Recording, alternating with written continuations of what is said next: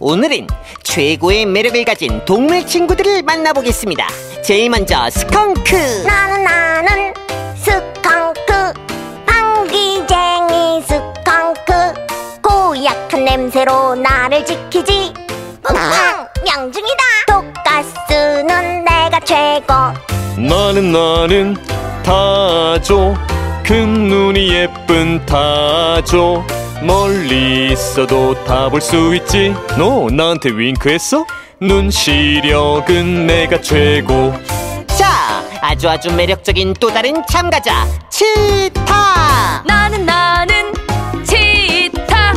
날쌘 놀이 치타. 육지에서 내가 가장 빠르지. 따라올 테면 따라와봐. 달리기는 내가 최고.